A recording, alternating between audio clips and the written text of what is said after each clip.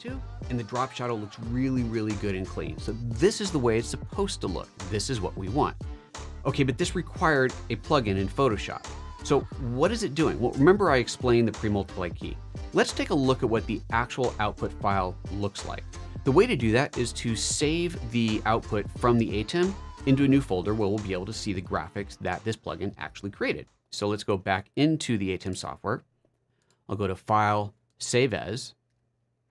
I'm just going to call this Export and click Save. And on this menu, I'm going to turn off everything except for the media pool. This is going to save out the graphics that are currently stored on the ATEM.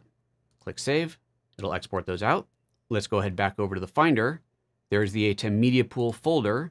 And here's the three graphics. So there's the original one that I created, the Photo Joseph one without the gradient. Then here's one with the gradient in place. You can see what that PNG looks like. And then here's the one generated by the plugin.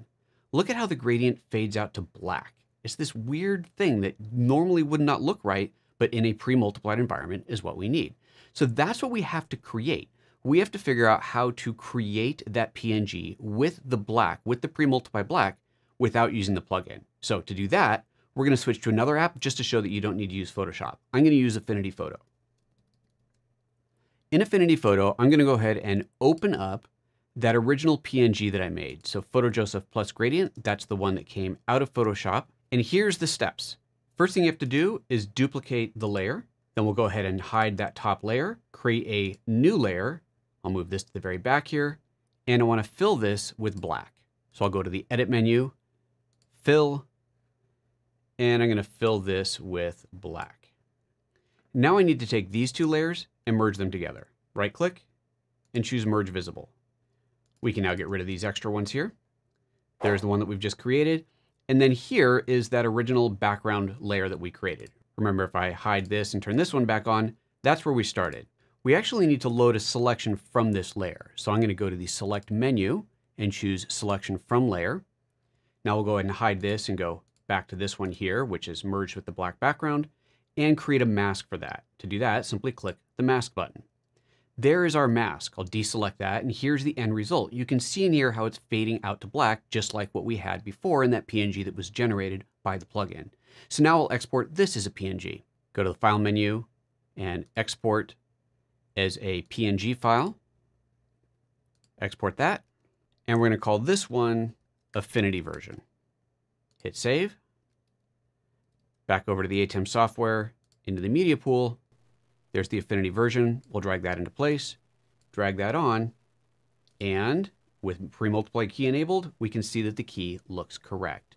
So let's just do that one more time, but without going through the whole process of exporting a PNG and bringing it back in again. I'll create a new file in Affinity Photo, and of course this will work in any graphics software. Once again, 1920 by 1080. And I also have transparent background enabled here. Click Create, and let's do something crazy. I'll go ahead and do the Photo Joseph again in there because why not? Let's make that some other color. I'll put not just a drop shadow. Let's go ahead and enable that and make that nice and big and soft on there. Make that pretty dark as well. But I'm also going to add a glow on here because that would definitely break things. So let's make this a bright yellow glow. We'll put that behind the text in there. Maybe make that drop shadow a little bit bigger.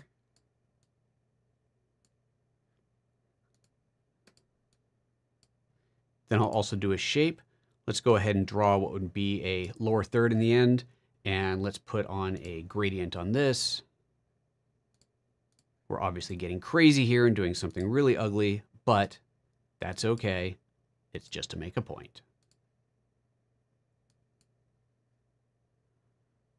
I'll put a mask on here and grab the gradient tool and just make that really nice and soft. Drag that out like so.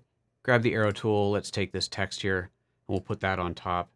And again, we're really doing something that's ugly, but no doubt this is something that would not work without the pre-multiplied channel. Okay, so we've created all of this at this point, but now we don't want to have to export it out as a PNG and re-import it, et cetera, et cetera. So here's what we'll do. Go ahead and select these two items here and group them. I'll duplicate this, hide the top one, and create a new layer underneath this that I will once again fill with black. Now I'll go ahead and merge down, select that top layer. You do have to enable it to load the transparency, so enable that temporarily, go to the select menu and choose selection from layer. Then we can go ahead and hide that, select that background layer, and create the mask. There you can see the fading off to black that we need. So let's go ahead and export this out as that PNG file that we need. And we're just going to call this one fancy. Hit save. Back over to the ATEM software. Take that, load that into place, and there we go verify that pre-multiply key is turned on, and of course it is, and now you have the beautiful gradients, the shadows, the glows, and everything works right. So that's how you create these graphics. They have to be pre-multiplied if you want to have your transparency and your opacity look the way it was intended to. Again, you might be able to get away without doing that with generating just a simple PNG if all you have is a simple drop shadow, but if you're seeing some anomalies in your drop shadow, this is why. Generate the graphic this way, either using the plugin from Photoshop or using the technique I just showed you, and that's all you need. Hey, as always, don't forget to subscribe, hit that like button, share this video with another ATEM user that you know, and if you have any tips that you want to see done, make sure you drop them in a comment below. I'll do my best to get to them. Thanks.